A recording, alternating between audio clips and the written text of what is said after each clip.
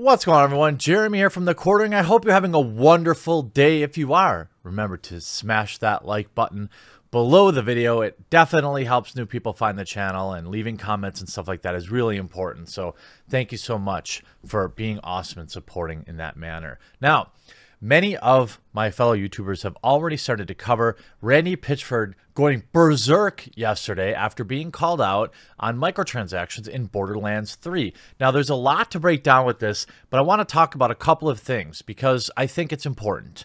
Um, first of all, to my fellow YouTubers who are at the launch event, come on, dudes and and gals. I guess dudes can be a guy or a girl can we just as YouTubers,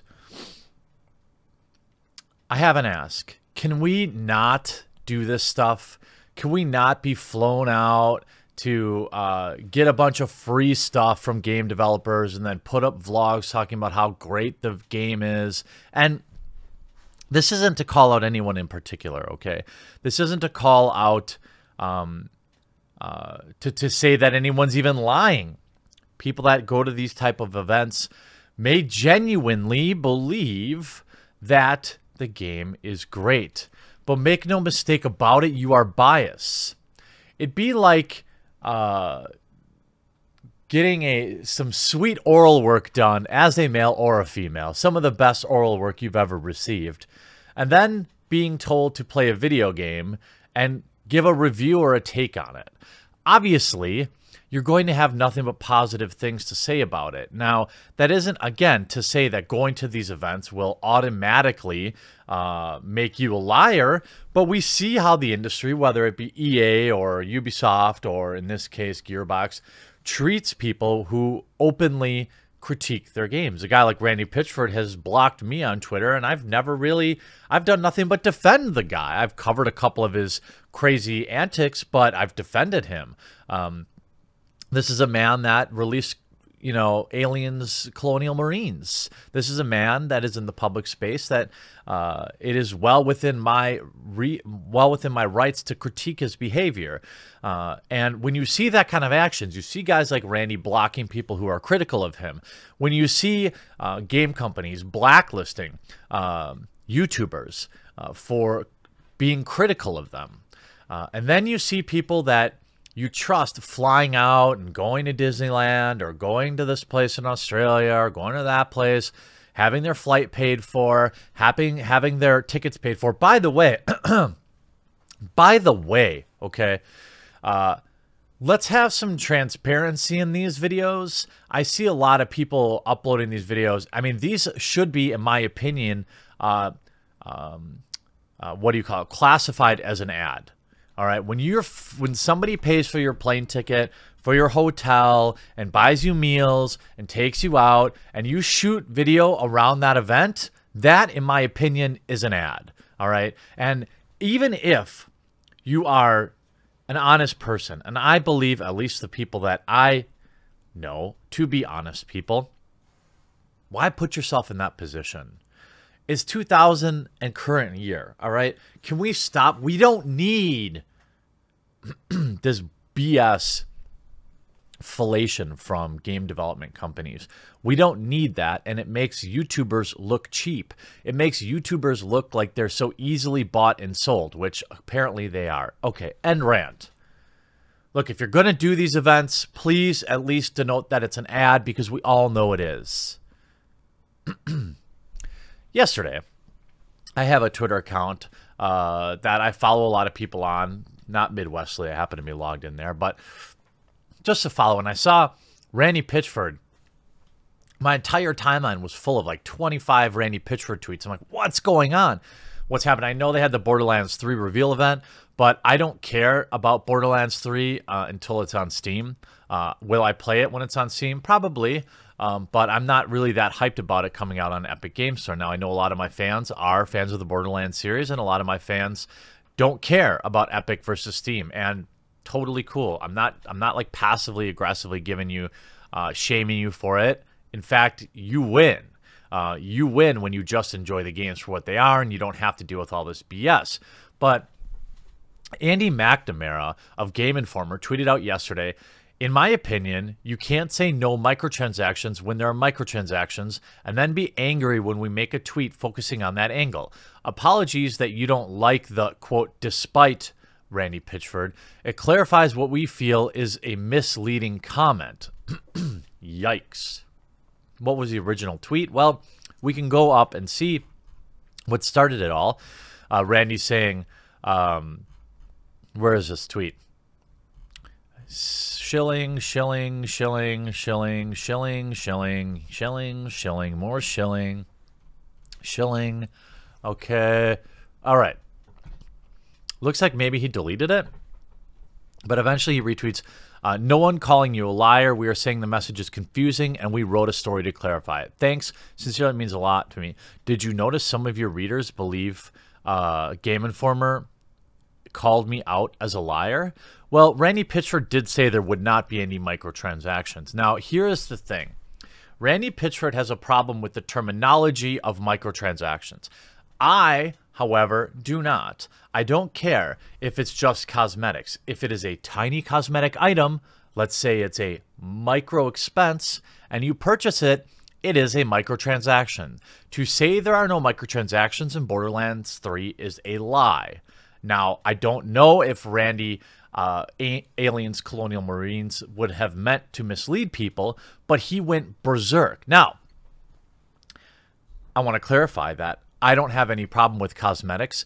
Any reviewer that I've ever seen doesn't have a problem with cosmetics. So the fact that Borderlands 3 has cosmetics, I don't care. That is in no way a negative. In fact, it's a value add for people that want to purchase it. There's absolutely nothing wrong with having uh, microtransactions in a game as long as they're cosmetic only and and they don't provide uh, and, and they're not aided and abetted by like time gates and, and stuff like that okay? So we see him go off about this and i'm going to read through it. But first uh, the argument which was great. Uh, I cannot believe that your response here is to double down on an implication made in a tweet that I was being misleading. Watch the stream for yourself. I was doing the opposite of misleading. That was the most transparent preview event I have ever heard of. It's like uh, somebody points out, like Donald Trump wrote these tweets. uh, clear would be a statement like, we have microtransactions, but they are cosmetic and don't affect gameplay. That's my opinion. Calling us names doesn't seem constructive. I'm sorry we disagree. Randy Pitchford replies, Calling you names, you called me a liar. I need to know, is this your position here that I lied? No one is calling you a liar. We are saying the message is confusing and wrote a story to clarify it. And then he eventually cucks to Randy Pitchford, which is annoying because you can see the original tweet by Gearbox saying, despite Gearbox CEO Randy Pitchford's comment about no microtransactions in Borderlands 3 during today's livestream, we've been told cosmetic items are still purchasable. What's wrong with that? Here's how I see it. A cosmetic item is a microtransaction. Not all microtransactions are bad. Hashtag not all microtransactions. Okay? But Randy replies to the one article by the way, Game Informer, a, a, company that gets almost no traffic on their tweets or in their articles. Okay, let's just be let's be honest here. If we look at Game Informer, like I wouldn't be worried about their reach. Here's a here's a tweet from two hours ago that is a whopping 100 favorites, and this is and this is from an account with 2.4 million followers. This is a dead Twitter account okay? But that wouldn't stop Randy Pitchford from going absolutely berserk. Come on, guys. Poopy clickbait title. Literally seconds before I said that, I made it very clear that we're doing cosmetic stuff like I did in Borderlands 2. You know I was talking about premium currency and loot boxes, not the uh, kind of stuff not being in our game. Why you guys would F me on this is beyond me. Thanks a lot. He sounds like a baby.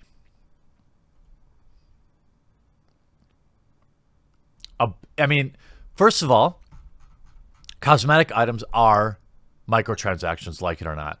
What Randy's having a problem with is the fact that uh, when you lump in microtransactions, uh, there is a negative connotation on that. Okay, I understand the frustration, but his his concern isn't with Game Informer; it's with the term microtransactions. All right. Borderlands 3, I have made the commitment to consistency in how things will be done in B Borderlands 2. I'm proud of our record uh, of goodwill and best in class consumer value, whatever, CEO talk. B3 will be consistent of what players have come to expect from prior B games, except B3 is bigger, better, and more valuable experience. We expect that to continue as we look to campaign DLC as well. And again, I don't inherently have a problem with DLC campaigns, but what I am concerned about is there's no way. Remember back in the day where people used to open the discs and like look in the files of games and they could figure out which campaigns were stripped away for DLC.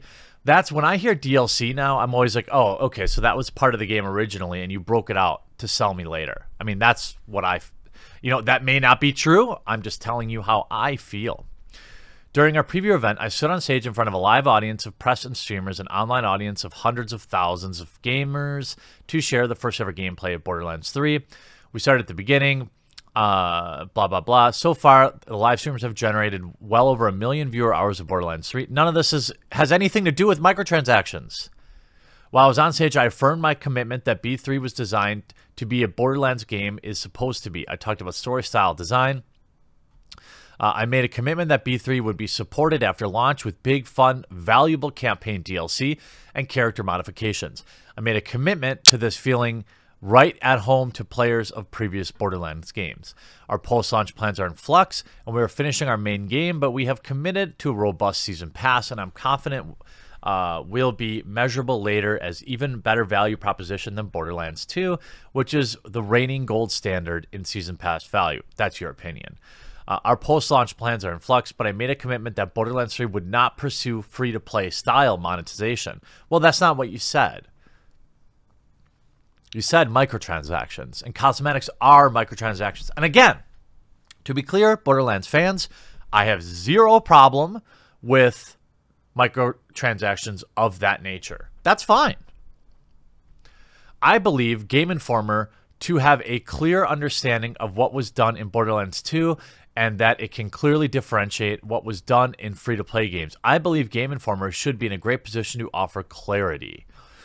I trust and believe you, Andy, that Game Informer's intent was to clarify and not confuse. I would with a few words I chose on stage. I agree that a few words I chose on stage left room for them to be construed towards confusion. I like Game Informer's potential to avoid such confusion. Okay? I know you're objective enough to see how the words that Game Informer Twitter authors chose led to Game Informer reading to take the meaning that GI was calling me out as being misleading and lying. Well, you said microtransactions. They didn't. I'm grateful you confirmed that you understood and I believe that is not a lie. I did not have the intent to lie because I love and trust Game Informer. Yeah, right. That's why you exploded publicly and you didn't reach out to them privately, right? And I know GI's readers trust it too. It's important to me to have that peace of mind. I agree that Game Informer can provide a valuable. It's like, did a lawyer tell you to write this? Thank you in advance for granting me some leniency in my emotional response to the situation in the moment where I had expected a team that I supported and applauded for holding the uh, line with our stance on AAA monetization. I was hurt to suffer claims of dishonesty and suggestion that we had fallen on this point from Game Informer. Okay. Well, I wouldn't call this a rational reaction by a CEO. But it was nonetheless. One of the best comments that came out of this, of course, was I can't believe anybody would accuse you, the developer of Aliens Colonial Marines, of misleading people during the marketing of a game. Look, there's nothing inherently wrong with microtransactions as long as you're cosmetic. I get that Rando was mad because of the negative connotation with microtransactions, but that does not change the fact that He did, in fact, say there would be no microtransactions, but then there are microtransactions. This is a nomenclature issue. This is a wording issue. This is much ado about nothing. But Randy completely flying off the handle is not a good look for him. It makes me curious why he is so defensive on this because I don't think we disagree on the actual definition of microtransactions. Well, that is the breakdown of Randy's breakdown. I hope you enjoyed this video. Let's finish with a nice picture. We'll talk to you again real soon.